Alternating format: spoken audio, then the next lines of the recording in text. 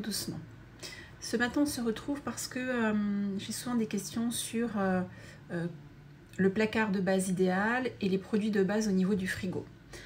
Donc, il me semble qu'on l'avait déjà fait il y a quelques temps, en tout cas certainement pendant le premier confinement. J'ai pas retrouvé la vidéo sur YouTube, donc j'ai pas dû la sauvegarder.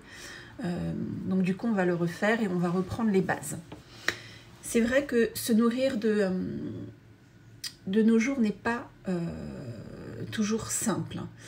Se nourrir sainement peut paraître difficile, voire très difficile. Nous mangeons environ trois fois par jour, moins pour certains, plus pour d'autres. Euh, et pourtant, euh, savoir ce qui est bon pour notre santé semble devenu de plus en plus complexe, surtout actuellement et depuis euh, particulièrement un ou deux ans où tout le monde y va de son conseil. Pour se nourrir sainement, il faut tout d'abord changer, bien sûr, d'alimentation, mais dans le sens d'une alimentation plus naturelle, plus naturelle, plus saine. Le point de départ à cela, c'est qu'il faut changer sa façon de faire les courses. Je vous dis souvent que le premier acte de santé, c'est bien remplir son caddie pour pouvoir bien remplir ses placards et son frigo. Effectivement, si vos placards et votre frigo euh, regorgent de euh, conserves, euh, de plats préparés, de choses transformées, voire ultra transformées, en passant par des crèmes desserts lactés très connues, des, des, gâteaux industriels, des viennoiseries industrielles, eh bien malheureusement, vous n'allez avoir absolument rien pour cuisiner votre santé. Vous n'avez que du tout prêt. Et l'alimentation euh, santé, c'est vraiment essayer de cuisiner brut et de transformer bien sûr à la maison. Pour certains, ça peut paraître euh, insurmontable, mais finalement, cuisiner sainement, ça ne demande pas beaucoup de temps. Oui, c'est un petit peu d'organisation, parce qu'au moment où on va préparer sa recette, il vaut mieux avoir tous les ingrédients de base euh, dans sa cuisine, en tout cas dans ses placards et dans son frigo pour certains j'ai sorti un nombre important de choses que j'ai moi dans ma cuisine. Euh, et vous verrez, c'est pas en plus compliqué de, les trouver, même si vous habitez dans une, euh, dans une petite ville ou un petit village de province. Maintenant, avec Internet, euh, on peut trouver quand même des choses françaises. On fait appel à nos petits producteurs euh, qui malheureusement ne peuvent pas depuis un peu plus d'un an aller dans les salons bio ou aller sur des, sur des marchés euh, dédiés à cette alimentation santé parce qu'avec euh, ce virus, tout est tout à l'arrêt. Mais par contre, ils peuvent vous livrer. Donc il faut continuer à les faire travailler parce que si on ne fait pas appel à eux, ils ne vont pas pouvoir survivre à cette crise. Donc on va commencer par vraiment les indispensables et bien entendu, c'est ceux qu'on devrait retrouver en majorité dans votre assiette, c'est bien sûr les légumes et les fruits. je ne vais pas vous les présenter euh, parce que vous savez tous euh, à quoi ressemblent des fruits et des légumes. Bien entendu, il faut essayer de respecter les saisons, le local, dans la mesure du possible du bio, parce que c'est aussi bien par respect pour l'environnement, mais c'est surtout pour la qualité des aliments que vous allez manger. Euh, donc, faites-vous plaisir, allez chez des petits producteurs, allez dans les petits magasins bio indépendants. Euh, vous êtes peut-être inscrit à des AMAP.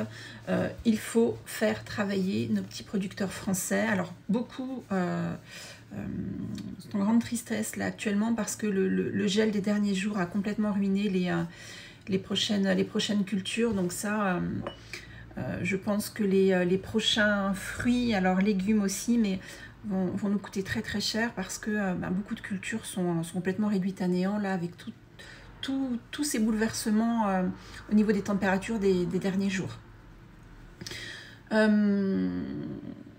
Donc je vous poste une fois par mois, euh, je prends euh, les magnifiques calendriers euh, de Claire-Sophie Pissenlit, si je ne me trompe pas. donc tous les mois, vous avez le premier jour de chaque mois les fruits et les légumes du mois.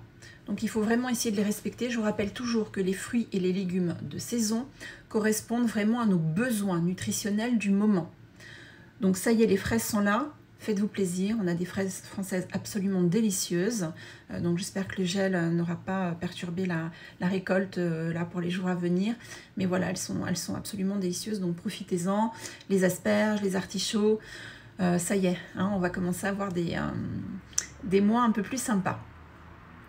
Bien sûr, au niveau du frais, privilégiez les oignons, l'ail, le gingembre, le curcuma frais.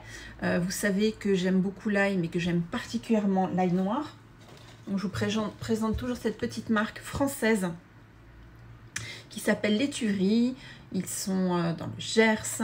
C'est deux petits producteurs, euh, des jeunes en plus, hein, qui se sont lancés dans, en tout cas dans cette, dans cette façon de transformer, de, faire vieillir l'ail. Donc vous l'avez en tête entière, vous l'avez en pâte, en gousses décortiquées. Ils ont un miel à l'ail noir absolument génial pour les préparations salées, pour faire des petites sauces ou des vinaigrettes.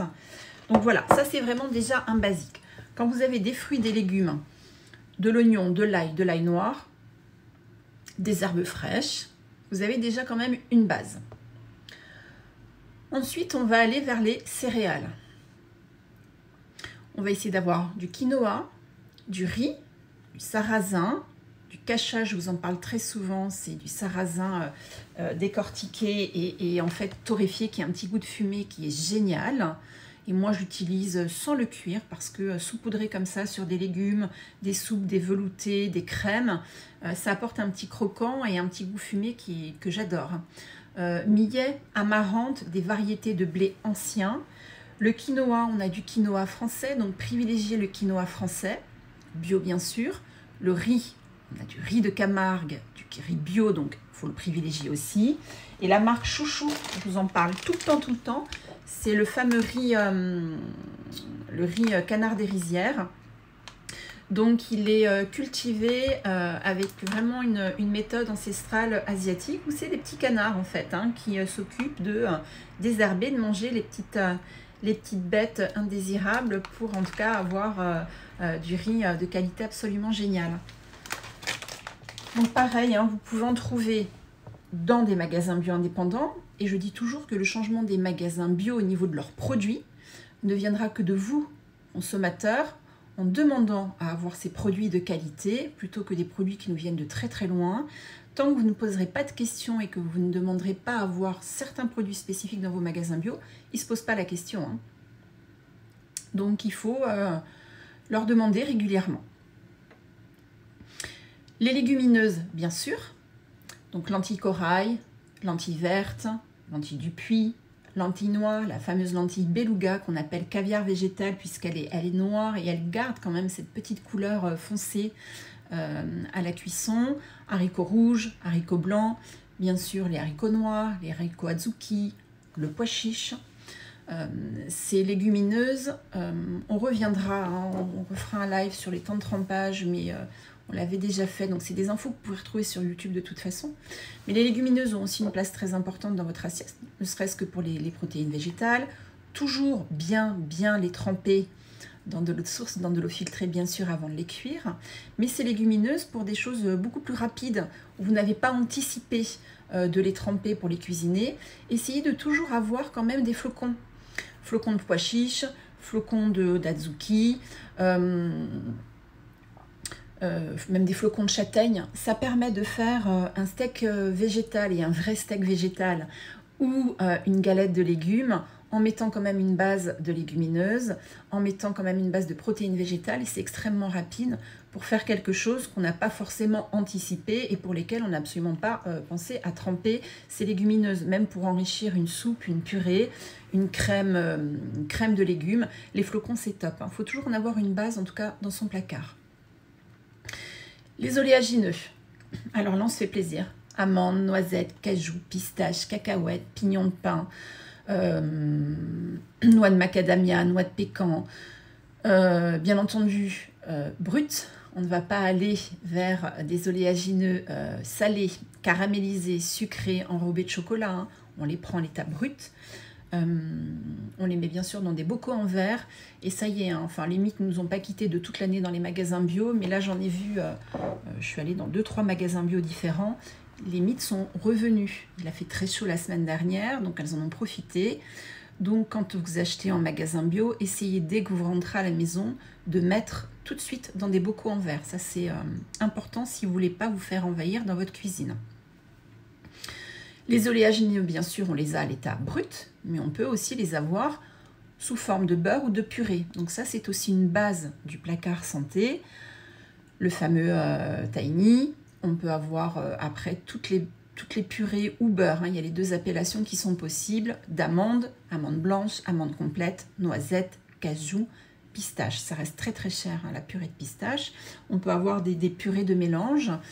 Et ce qui est aussi très important, c'est de regarder les étiquettes. Il faut toujours, quand vous achetez un, pot de purée, euh, purée d'amandes, je vais en prendre un.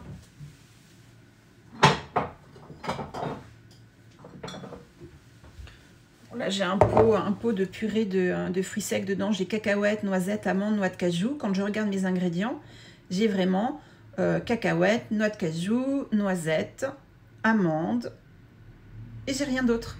Il ne faut surtout pas qu'il y ait du sucre ou de l'huile en plus.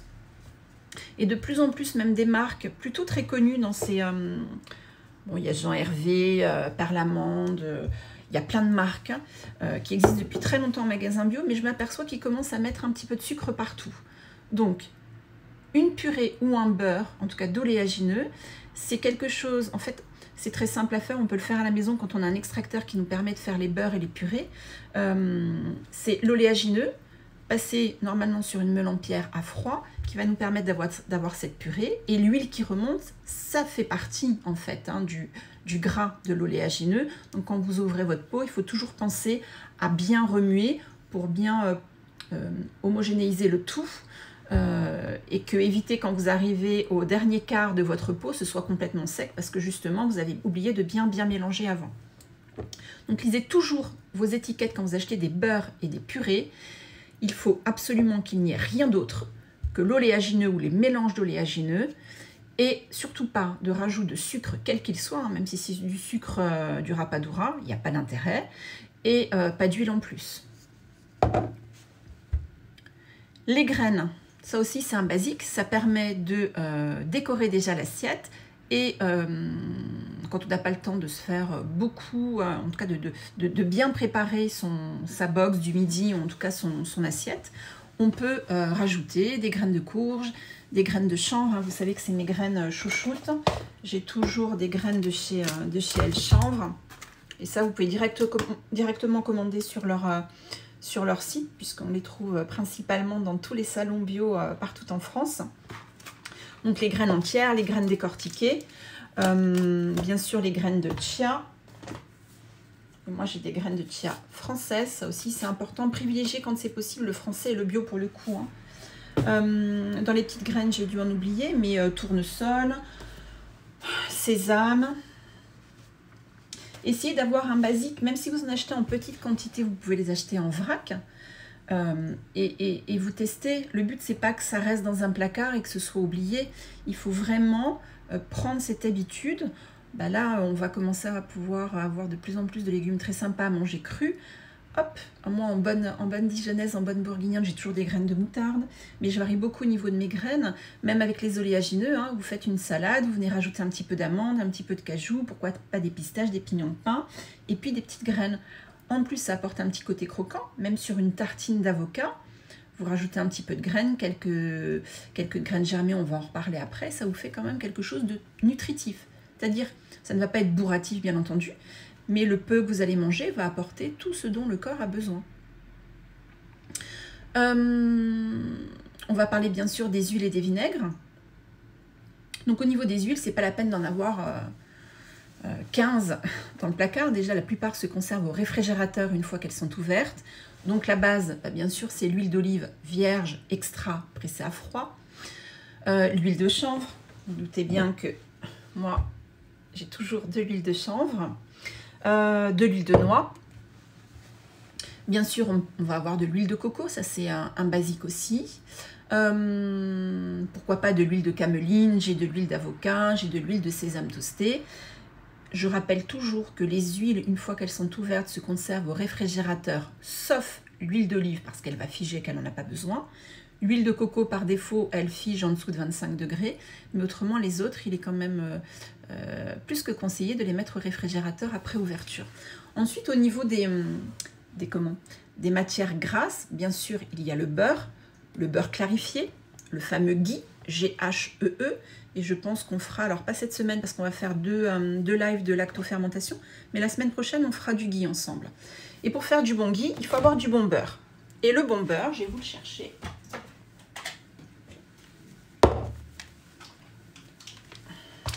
Et je vous parle toujours d'un beurre en particulier, c'est celui-ci. Alors du coup, vous allez l'avoir à l'envers, mais c'est le fameux beurre cru de chez Gabori.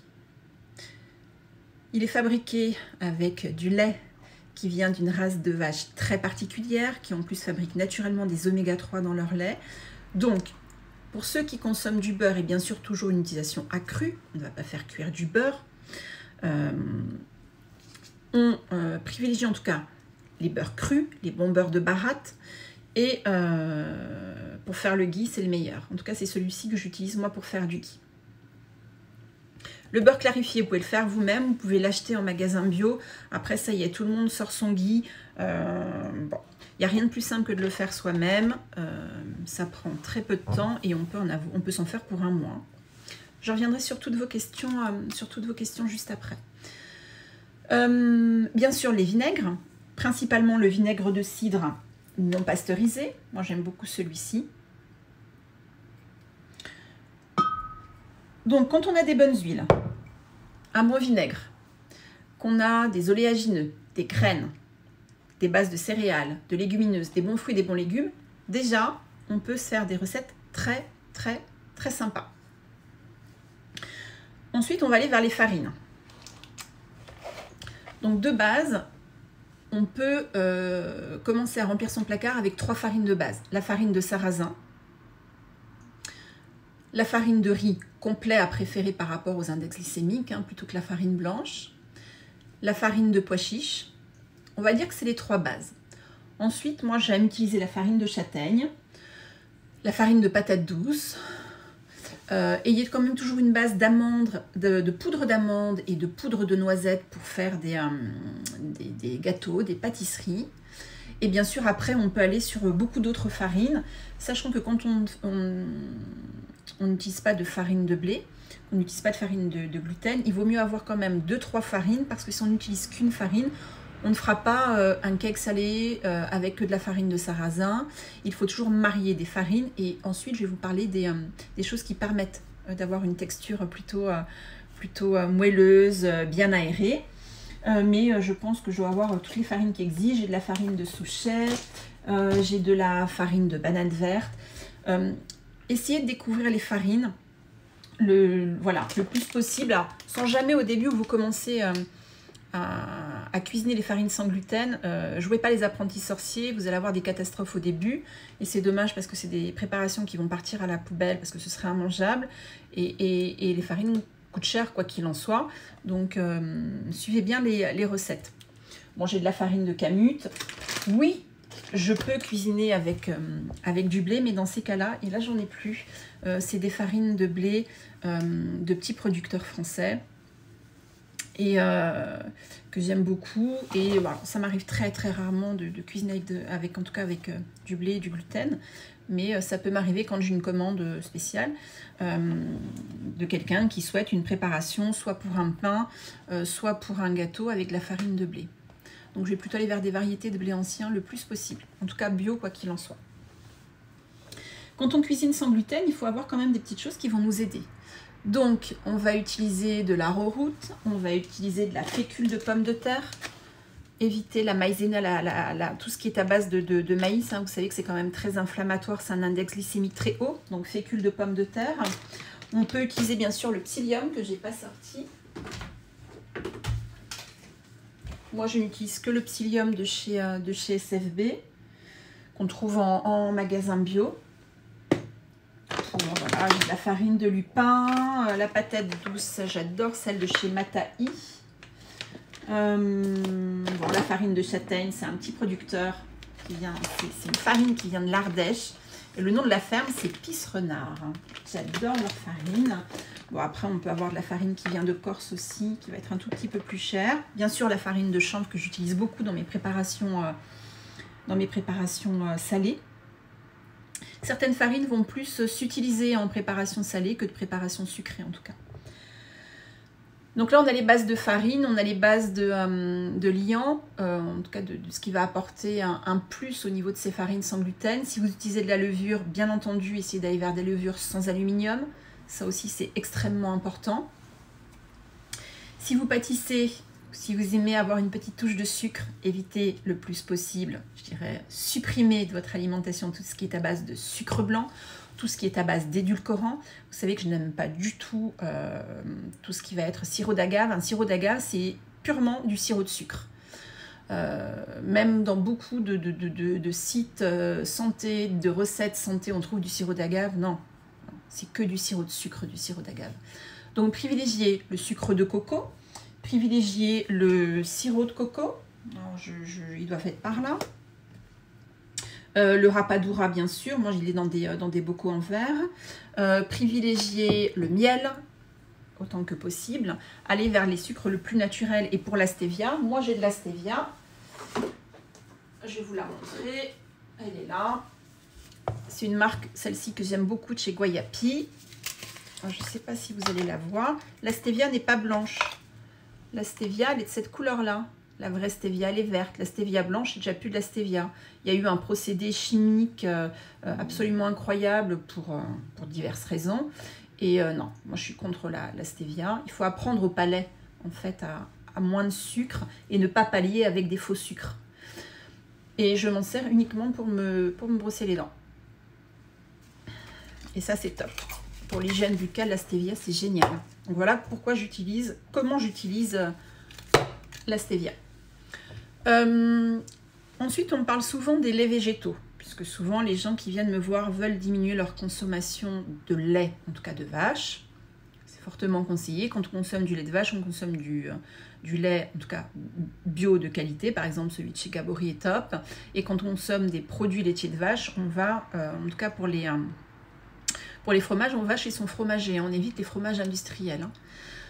On se facilement vers les laits végétaux. Il n'y a aucun intérêt à boire du lait végétal. Quand on achète du lait végétal, s'il faut savoir que c'est très peu d'oléagineux ou de, euh, base de, céréales, c'est énormément d'eau et souvent l'industriel va vous rajouter du sucre pour euh, vous donner euh, cette envie d'en consommer plus. Mais un lait végétal, c'est vraiment pour faire un gâteau, éventuellement faire des crêpes pour des intolérants à la caséine ou en tout cas au lactose. Euh, donc c'est vraiment pour des préparations. En lait végétal, on a, bon, ils sont tous connus, il y en a de plus en plus, hein, le lait de riz, le lait d'amande, le lait d'avoine, le lait de chanvre, le lait de noisette, euh, il y en a euh, toute une multitude incroyable. Donc pourquoi pas avoir un riz de base pour une préparation en particulier? Moi j'ai toujours du lait de coco de chez Base Organic, j'adore leurs produits. Et là, il y en a que j'aimerais avoir, mais j'arrive pas à trouver. Donc leur site est en, je pense qu'il doit être en, refonte. Il euh, faut que je les contacte pour euh, savoir où trouver euh, tous leurs produits au même endroit et pas courir tous les magasins bio de la région parisienne. Bien sûr, vous pouvez avoir des petites crèmes qui vont vous aider dans votre quotidien, en tout cas dans votre cuisine. Crème de chanvre, crème de coco, crème d'avoine, crème d'amande, hein, il y en a plein. Ensuite, on va essayer de voyager, parce que dans notre assiette, il est important de voyager. On ne peut pas voyager en ce moment, en tout cas, on ne peut pas aller très très loin. Donc, il faut absolument voyager avec le palais. Et vous savez, qu'on, quand on cuisine ensemble, ou à l'époque où mon atelier était encore ouvert, euh, je vous montrais toutes ces épices qui permettent de faire vraiment voyager les papilles gustatives. Et ça, c'est très important d'épicer. Je rappelle toujours que les épices, c'est pas du piment. Des épices, c'est ce qui permet de parfumer. Et là, on se fait plaisir. Cannelle, curcuma, vanille, de bourbon de préférence, du poivre, du cumin, de la coriandre, du curry, de l'origan, de la muscade, girofle, cardamome. Je ne vais pas toutes vous les sortir parce que j'ai un placard rempli d'épices. Euh, mais il faut absolument mettre des épices, mettre du parfum dans vos, euh, dans vos assiettes. Euh, une marque que j'aime beaucoup, et je vous en parle souvent, c'est la marque Aromandise. Pareil, je ne vous ai pas sorti tout, tout, hein, mais bon, j'ai l'ail des ours. Il y a des mélanges comme ça qui s'appellent pizza pasta, où c'est des mélanges avec du paprika, de l'ail, de l'origan, du thym, du romarin, des pétales de tournesol, calendula, bouton de rose. Euh, les poivres, faites-vous plaisir, il existe plein de poivres différents. Euh, j'adore aussi cuisiner avec les, les roses, plus au niveau euh, de, la, pâtisserie, du, sucré. Mais faites-vous plaisir avec tous les poivres. une marque d'épices aussi que j'aime beaucoup, bah, c'est toujours Wayapi. Ils ont des super épices de très très très bonne qualité. donc chez eux, bah, j'ai toujours basiquement le gingembre, le poivre, la cannelle, le curcuma, ce qui me permet de faire les fameux golden milk. Euh, je cuisine beaucoup aussi avec les fleurs et chez Romandie je trouve beaucoup de fleurs. La dernière fois je vous ai euh, fait un petit post, je faisais des, pommes et des poires euh, au vitaliseur. Ben, j'avais mis des fleurs d'oranger pour parfumer dedans. bien sûr je ne vous parle pas du sel, puisque vous savez que moi le sel je n'en ai pas. Le seul que j'ai c'est celui-ci donc le sel marin non raffiné, non traité. Et pour ceux qui vont vouloir euh, faire les recettes avec euh, moi jeudi et dimanche de lactofermentation, euh, il va falloir trouver ce genre de sel. Et je n'utilise le sel que pour la lactofermentation. Je n'ai pas de sel à la maison, j'en ai pas. Il peut arriver que quand je fais certaines recettes, je vous parle de ce substitut de sel. Il en existe plein d'autres. Hein. Le plus connu, c'est celui de euh, Herbamar, en sel marin. Mais autrement, chez Aromandise, ils ont une déclinaison de euh, trois 3 ou 4 euh, substituts de sel comme ça, avec des mélanges légumes, avec, avec des mélanges de légumes, des mélanges d'aromates, des mélanges d'algues. Bien sûr, le gomasio que je n'ai pas sorti, vous pouvez utiliser du gomasio. Ensuite, on va parler de tout ce qui va être condiments. Donc les condiments, qu'est-ce qu'on va avoir? Ce que moi j'appelle condiments tout ce qui va être miso. Euh, la sauce tamari. Je vous rappelle que c'est du soja fermenté. Bien sûr, on va avoir la moutarde, mais la vraie moutarde, la vraie moutarde à l'ancienne. Les pâtes de curry. On va avoir les algues, et sous toutes leurs formes, sèches et fraîches. En algues sèches, euh, je cherche, parce que comme j'en ai j'ai tout sorti. J'aime beaucoup celle de chez Acal, euh, Food. Moi, j'ai de la spiruline crue. J'ai ce petit mélange qui s'appelle Spirumix qui est top. Dedans, il y a des petites graines de, de... Alors, ça doit être tournesol, graines de... Je vais vous dire exactement ce qu'il y a dedans. Tournesol, graines de sésame, graines de lin, graines de courge. Il y a des petits éclats de spiruline. Alors, même sur un, dans un guacamole, euh, sur une salade, euh, juste comme ça au dernier moment quand vous servez votre bol de soupe ou dans une purée, c'est génial. C'est trop trop bon. Donc des algues sèches, quelles qu'elles soient, des algues fraîches, et vous savez que je parle tout le temps, et ça depuis de nombreuses années, de ce tartare. On a toujours en grosse quantité ici, puisqu'on le mange à la cuillère. Donc c'est bord à bord, c'est le tartare d'algues à la provençale. Donc dedans, il y a des algues spaghetti de mer, laitue de mer, il y a de la dulce, dulce pardon, wakame, et euh, il y a des petits cornichons, des capres, des oignons, de l'échalote, du basilic, de l'origan, de l'ail, du romarin, du thym.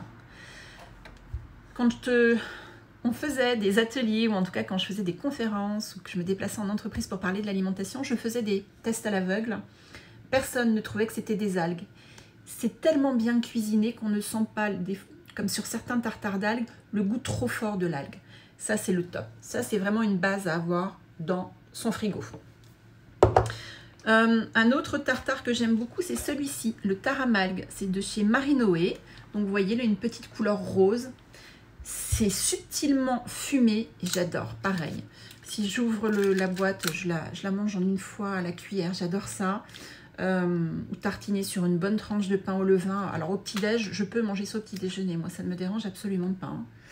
Donc dedans, on a quoi? On a, bah oui, la dulce, du jus de citron, graines de tournesol.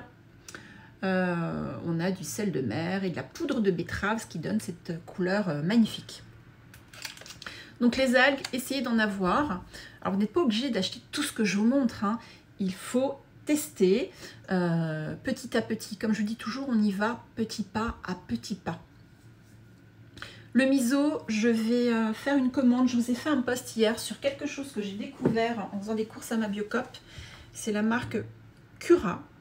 Euh, donc je me suis pris du saké pour cuisiner. C'est un saké vraiment pour cuisiner. Donc c'est un vin de riz naturellement fermenté. Et j'ai vu sur leur site qu'ils avaient des misos de fou. Euh, donc je vais les tester en plus des misos frais. Euh, donc là, je vais les contacter euh, certainement lundi ou mardi et je vais me faire une petite commande et je vous dirai en tout cas ce que j'en pense. Bien sûr, les pâtes de curry, et ça, j'ai toujours des pâtes de curry voilà, dans le frigo. Hein. Pâtes de curry rouge, j'en ai plein d'autres. J'aime beaucoup cuisiner faire des cuisines. Euh, bon, là, j'ai de la pâte de curcuma. Euh, j'aime beaucoup cuisiner euh, la cuisine thaïlandaise. J'ai plusieurs marques différentes, hein, je tourne en fait. Hein. parce que j'aime quand c'est parfumé et du coup je voyage. donc essayez d'avoir aussi des pâtes de curry. les légumes lacto-fermentés, je ne vais pas les oublier.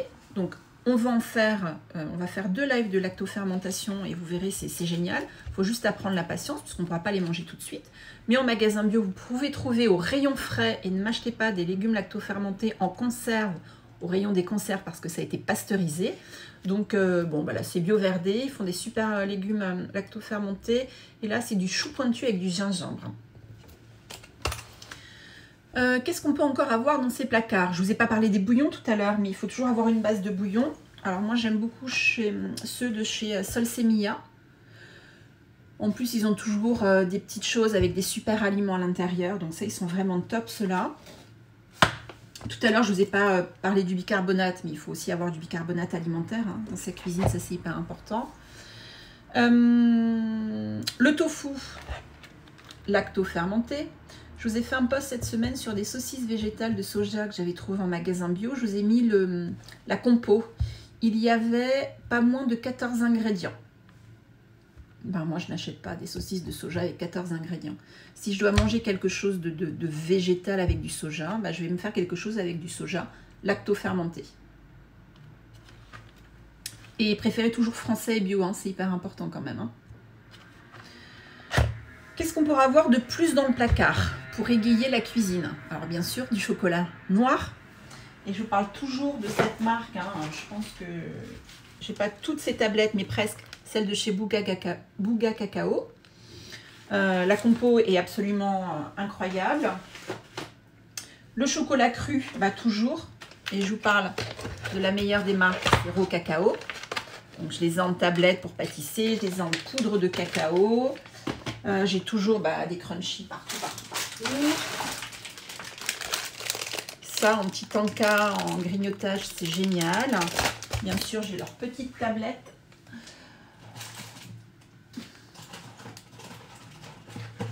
Alors, vous êtes vraiment direct de ma cuisine, donc vous voyez que je les ai. Hein. c'est euh, chocolat cru. Hein. Donc là, c'est à la rose. Ah, celui-ci, je l'adore. C'est avec des cisalis. C'est super bon. Sous forme de fèves. Et celle-ci, elle est à l'ananas. Fèves de cacao cru. Euh, dans les céréales tout à l'heure, quand je vous parlais des pâtes, hein, ça c'est aussi un basique que j'ai toujours. J'ai toujours des pâtes de sarrasin, des soba. Ça se trouve très facilement au magasin bio. Essayez d'avoir de la spiruline, du pollen frais. Je vais leur sortir du congélateur. Là, je ne vous sors pas toutes les barquettes, mais là, j'ai de l'aubépine hein, qui est très très riche en protéines végétales. Ça, c'est vraiment une base du, coup du congélateur idéal. Hein. Moi, j'ai pas grand chose à part euh, des glaçons et du pollen frais dans mon congélateur et un petit peu de fruits, euh, euh, surgelés. Bien sûr, les kéfirs, les kombucha. Donc kéfir kombucha, si vous ne les faites pas vous-même, la marque Karma est, géniale, Karma Kombucha. Et la brasserie parallèle que j'ai découvert à la Ganguette Bio.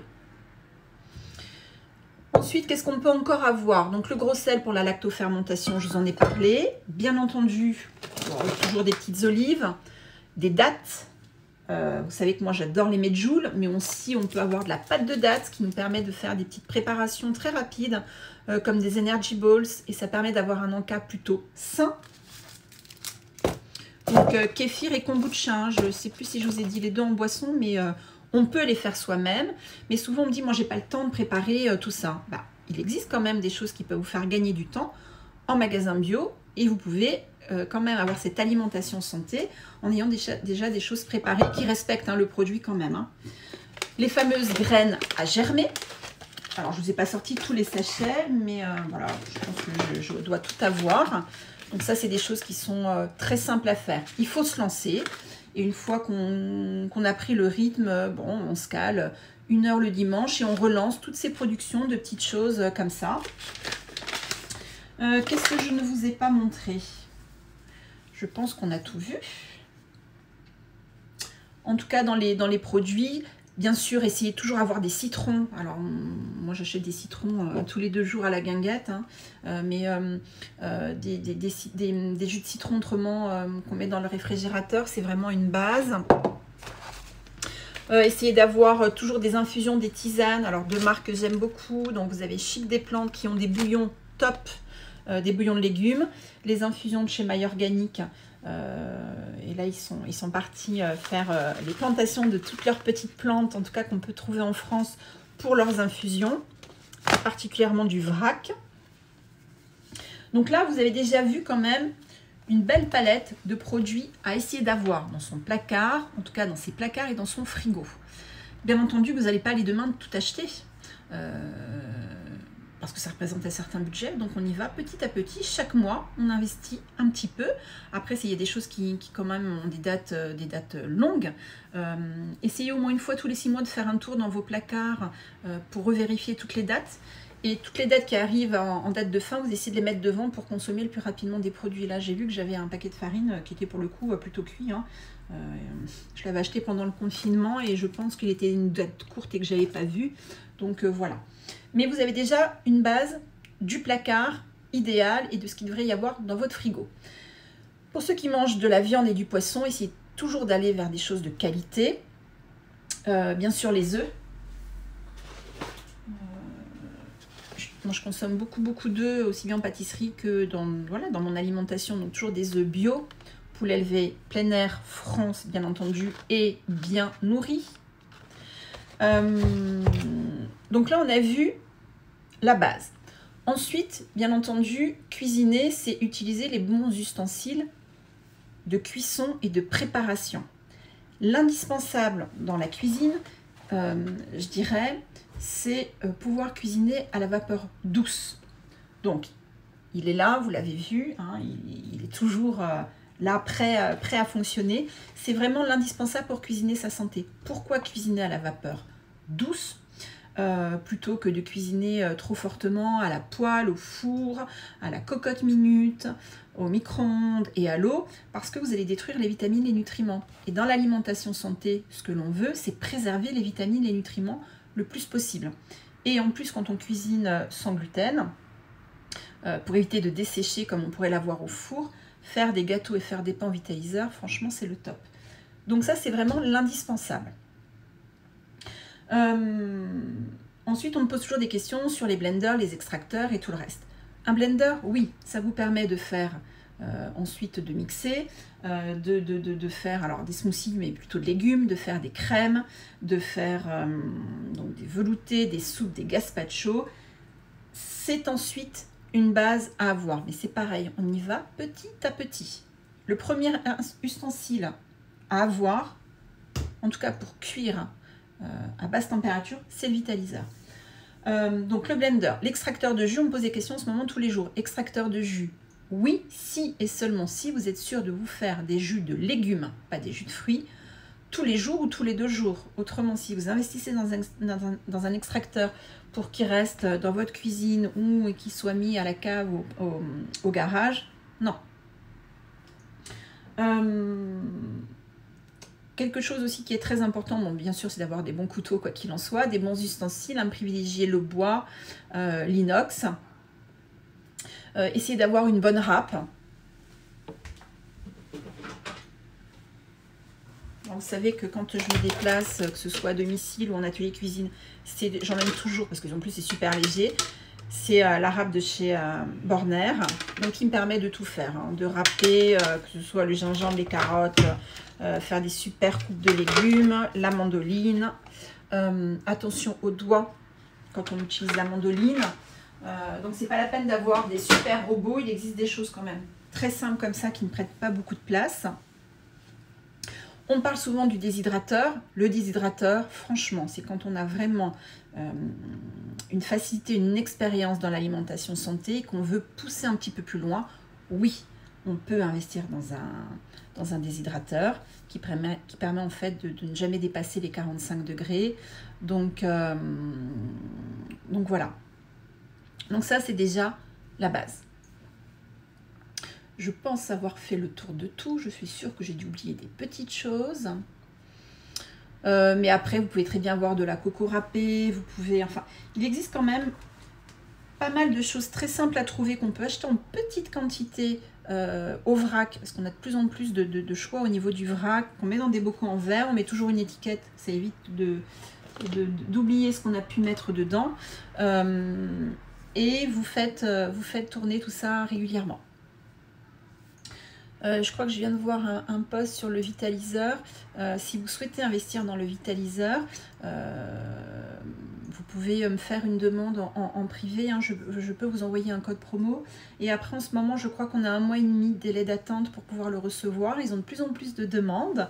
Les gens sont de plus en plus intéressés pour, pour cuisiner en tout cas leur, leur santé.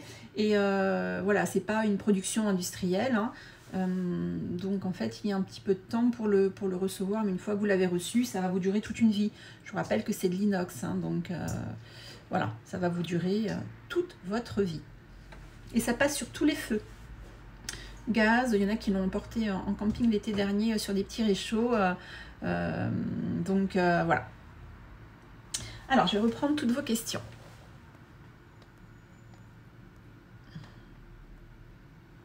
Le psyllium, j'aimerais bien une revue dessus car je viens de le découvrir, je ne sais pas comment l'utiliser. Alors, Valérie, le psyllium, avant tout, nous, on l'utilise beaucoup en, naturo parce que euh, ça nous permet euh, d'apporter énormément de choses au niveau de l'intestin. On peut l'utiliser sur les transits ralentis, les transits accélérés, alors bien sûr pas n'importe comment. Hein. Euh, par rapport voilà, à un intestin sensible, un intestin irrité, inflammé, enfin. Le, psyllium, je pense qu'il peut avoir euh, plus de 400 fonctions dans l'organisme, tellement il est absolument incroyable. Donc bio de préférence, hein, c'est ce que je conseille toujours. Cette marque-là, je l'aime beaucoup. SFB, il n'y a pas de maltodextrine de, dedans. Euh, et en alimentation, on va l'utiliser parce qu'il va permettre d'épaissir et de lier. Euh, mais je poste, j'ai des recettes avec du psyllium. on pourrait en reparler un peu plus longuement. En tout cas, les prochaines recettes, on pourra en reparler plus longuement. Euh, la référence pour la stevia. Alors, Guayapi. G-U-I-A-Y-A-P-I. C'est une marque de compléments alimentaires d'excellente qualité. Euh, c'est une marque qui existe depuis très très longtemps. Euh, on la découvre souvent sur les salons bio. Il y a le, leur petite boutique qui est, euh, ça doit être rue de Charenton, au niveau de Bastille. Ils ont toujours des conseils absolument incroyables. et, et c'est extrêmement éco-responsable. Donc Guayapi pour les épices et certains compléments alimentaires.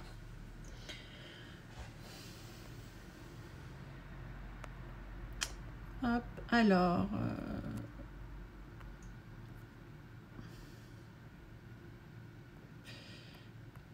Euh, mhm.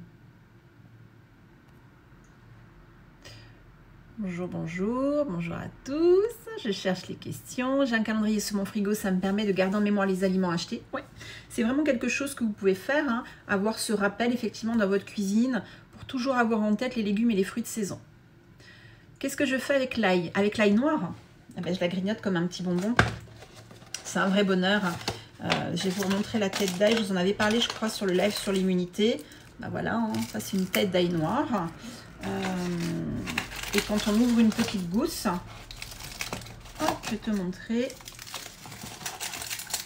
On a en fait une gousse d'ail noire, donc qui est vieillie, et euh, qui va décupler tous les bénéfices de l'ail. Et les gens qui ont du mal à digérer l'ail blanc, Alors ça, je peux te dire, j'adore. J'adore le goût, j'adore le, j'adore tout. Donc j'en mets partout. La recette que j'ai fait là, euh, il y a 2-3 jours avec les asperges, ben, j'en ai mis dedans. Enfin, je, peux manger les gousses comme ça. Après, au niveau de la, pâte d'ail, ben, je peux en mettre dans une vinaigrette, je peux en mettre dans un velouté, une soupe, euh, même éventuellement un jus de légumes. Et le miel à l'ail noir, j'utilise plus dans des petites préparations euh, salées ou pour faire une vinaigrette. Hum, j'ai les mis dans les bocaux en verre chaque année. Alors, normalement, si tu mets dans des bocaux en verre bien fermés, elles ne peuvent pas sortir. Hein. elles vont mourir étouffées. Hein. Par contre, si c'est dans des... Euh, il faut que les, les, couvercles ferment bien parce que c'est très malin, ça arrive à sortir. Le conseil que je donne en ce moment, moi, mon riz, et particulièrement celui-ci parce qu'il est tellement excellent qu'on a les charançons qui se développent. Donc, au frigo, euh, tout ce que vous pouvez mettre au réfrigérateur, surtout quand c'est bio, pour éviter la prolifération des mythes et des charançons, il faut le mettre au réfrigérateur. Quand vous rentrez du magasin bio, euh, pour, le, euh, pour certaines farines et autres, même un petit tour au congèle, hein, hop, ça tue tout, et après vous mettez dans les bocaux en verre. Oui, bah voilà, Aurore, complètement. Il faut passer un petit coup au congèle et ça évite d'avoir tout ça. Mais moi, le riz, toute l'année, de toute façon, il est, au, frigo pour éviter d'avoir des surprises. Euh, le gabori, il est top. Ben oui, il est top. On peut même le congeler. Hein. Euh, j'ai la chance d'avoir une ferme bio. Et oui, Valérie, profite, profite. Trop cher, le gui en magasin bio veut mieux le faire soi-même, complètement. Et il sera bien meilleur. Hein. Et le gui ne se conserve pas au réfrigérateur, il peut se conserver dans, la, euh, dans le placard. La farine de banane verte. Eh oui, j'adore la farine de banane verte. Elle a plein de propriétés. Elle est difficile à trouver. Euh, moi, je la trouve chez euh, Super Aliments. Euh, la stevia, ça je vous l'ai dit. Le top, le vitaliseur, Valérie, et oui, il est même parti en Belgique, le vitaliseur. Il peut partir à l'autre bout du monde. Hein. Je viens, oui, le délai est long. Ah, le plus long que ça a été, c'était là euh, pendant Noël. Ils ont énormément de commandes, il presque, presque deux mois et demi pour le recevoir. Entre, alors, la différence entre l'épice curry et la pâte de curry. Bah, l'épice de curry, c'est ce que souvent les gens mettent dans les pâtes ou dans le riz. La pâte de curry, elle permet vraiment, euh, quand on fait par exemple un, un dalle de lentilles ou un curry de légumes, de donner encore plus de texture. On l'utilise beaucoup en cuisine thaïlandaise. Attention, c'est très piquant, il faut en mettre très très très peu la poudre de curry avant que ça pique euh, pour mettre des quantités. La pâte de curry, c'est très très piquant. Pour aromatiser les yaourts, on peut mettre quoi? Alors, je ne vous ai pas parlé des yaourts. Euh, les yaourts végétaux qui sont extrêmement simples à faire et ça on pourra en refaire ensemble. Autrement, une marque que j'adore, c'est la marque Ya Dessert, YA Dessert. C'est des yaourts végétaux fermentés pour les aromatiser.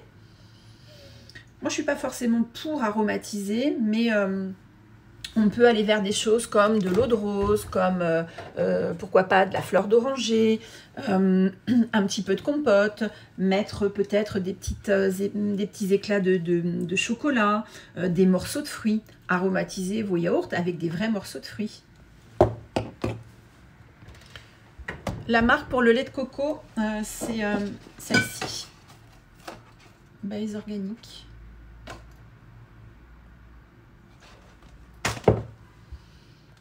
Ils ont plein, de produits autour de la coco. J'ai même trouvé, je vais vous le montrer, parce que je ne l'ai pas encore goûté. Ils font de l'eau de coco et j'en ai trouvé gingembre citronnelle. je ne l'ai même pas encore goûté.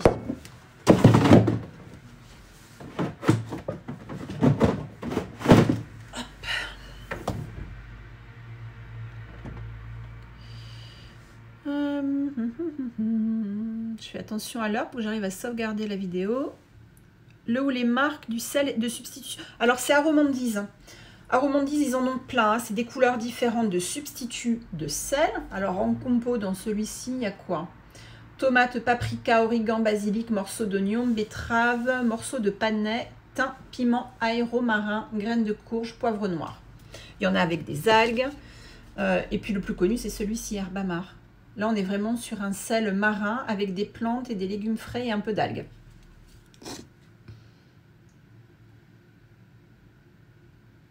Les dulce dans les algues sont des champignons noirs. Non, non, non, non. la dulce, elle est, elle est rouge. Rouge, oui, rouge. Dans les champignons, bien sûr, hein, ça c'est une base que vous pouvez avoir. Alors moi, je, je montre toujours, euh, j'ai toujours euh, bah, même des shiitake déshydratés de chez euh, Super Sec. Mais ça, c'est une base aussi du placard. Hein. Kéfir, on l'utilise comment? Bah, Un petit verre de kéfir par jour, 20 centilitres. C'est une boisson santé. qui va permettre de faciliter quand même la digestion. C'est fermenté et vous apporter des très très bonnes choses. Du lait de coco dans une boîte en alu, c'est pas grave. Ah bah ouais, mais le problème c'est qu'on peut pas tout contrôler. Le jour où ils mettront ça dans des petits bocaux en verre, ce sera top. En attendant, bah, on fait avec ce qu'on veut, avec ce qu'on peut, en tout cas avec ce qu'on a. En tout cas, dans cette marque-là, oui, il existe tout comme ça. Après, il est extrêmement difficile de tout, tout, tout contrôler. Euh, déjà, quand on commence à avoir une base saine, on peut de plus en plus contrôler dans son assiette, mais il faut surtout pas se mettre de pression. Pas de poids sur les épaules, pas de culpabilité. Finalement, manger sainement, c'est pouvoir manger de tout en limitant le plus possible les aliments transformés, les aliments bruts, bien entendu. Euh, et en contrôlant certaines choses. Alors quand les gens me disent, ben moi moi j'adore les sardines, les macros, mais c'est dans des boîtes, euh, des boîtes en alu, ben oui, je sais, il existe une marque qui, le propose en bocaux en verre, mais il n'y en a qu'une en magasin bio et qui est quand même très très très chère. Donc là, oui, je sais, mais euh, moi c'est une marque que j'adore, donc j'irai vers celle-ci. Pourrait-on avoir une recette simple pour un kéfir maison à l'occasion? Ben, Ça, on pourra le refaire ensemble. C'est super simple à faire, hein, le kéfir. La seule chose, c'est qu'il faut avoir les petits grains. Donc, comment avoir des grains de kéfir? Allez sur les groupes, euh, Facebook, tapez grains de kéfir. Ça se donne, ce n'est que de l'échange, ça ne se vend pas. Essayez d'avoir des grains de kéfir frais. Euh, et ensuite, euh, et ensuite c'est très simple. Autrement, dans les magasins bio, demandez, il y a toujours des gens qui veulent donner leurs grains parce qu'à partir du moment où on en fait, on ne sait plus quoi en faire. Donc essayez de trouver autour de chez vous des grains de kéfir. On en reparlera quand on va faire la lactofermentation euh, jeudi et dimanche. Donc pour ceux qui voudront cuisiner en même temps que moi, euh, jeudi et dimanche, pensez à, en tout cas, essayez de trouver.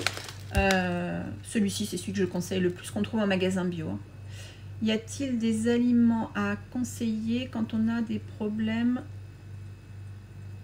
trachés suite radiothérapie? Ah, c'est Catherine. Catherine, euh, faites-moi un petit mail.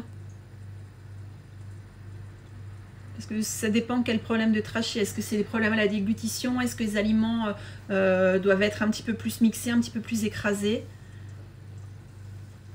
Quoi qu'il en soit, on est de toute façon sur une alimentation anti-inflammatoire, puisqu'il y a eu de la chimio avant. Donc, mais refaites-moi un petit mail, Catherine. Euh, voilà, je pense vraiment avoir fait le tour. S'il y avait d'autres questions, vous n'hésitez pas à me contacter euh, par message privé. On se retrouve euh, jeudi à 18h30, si je ne me trompe pas, pour trois recettes de lactofermentation. Je vous posterai demain ce qu'on va faire et surtout ce qu'il faudra avoir pour faire les recettes avec moi. On refera trois recettes différentes dimanche. Donc pour ceux qui peuvent se connecter pour les deux lives, bah, vous ferez en tout six recettes de lactofermentation et autrement je les posterai sur YouTube. Quelle est la différence entre la spiruline en poudre ou en morceaux? Le goût, la texture, surtout, surtout, surtout. Pourquoi je vous ai parlé de cette marque à Calfood? Parce qu'on est vraiment... Alors, ils ont une spiruline euh, française absolument incroyable, produite en Normandie. Euh, et de toute façon, euh, pour la sécher, c'est vraiment une des basses températures. Il faut aller vers des spirulines qui sont séchées à basse température. Hein. Conseillez-vous la levure de bière? Oui, levure de bière, levure maltée, j'en ai pas parlé, mais j'en ai aussi. Mais ça, c'est pareil, on y va progressivement. Déjà la base, c'est les fruits, les légumes, les bonnes céréales, les bonnes légumineuses, oléagineux, graines, les bonnes huiles, les bons, sucres, bien entendu, les bonnes farines. Et puis après, on y va petit à petit. Euh, donc, je vais aller poster la vidéo sur YouTube si j'y arrive. Euh, je vous souhaite un très très bon dimanche. Profitez de votre journée. Euh, pensez alors à vous nourrir avec des bonnes choses, des bons aliments, mais avec surtout autre chose aussi, hein, une bonne lecture, pourquoi pas une belle balade en pleine nature. Euh, peut-être une sieste, on est dimanche, donc on a le droit de faire la sieste, on ne culpabilise pas de faire la sieste si on en ressent le besoin. Euh, je vous dis à très très vite, à bientôt, bye bye.